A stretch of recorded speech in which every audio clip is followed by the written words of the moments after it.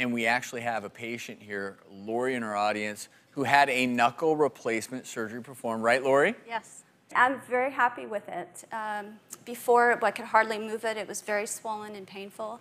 And now I've got almost full movement back now. And so, Lori, you're happy I'm that you had this done. it. Pain levels have decreased significantly. Yes.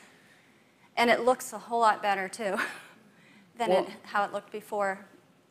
And that's a great point because you can get a lot of deformity in these knuckle joints. So, who would be a candidate for this procedure, Dr. Knight? Well, patients with any form of arthritis, uh, osteoarthritis or degenerative arthritis is what most Americans are afflicted with that get arthritis, aging arthritis, rheumatoid arthritis, which is more of a crippling arthritis, and then what we call traumatic arthritis, just one joint from a fracture that didn't heal right can also uh, lead to disabling pain.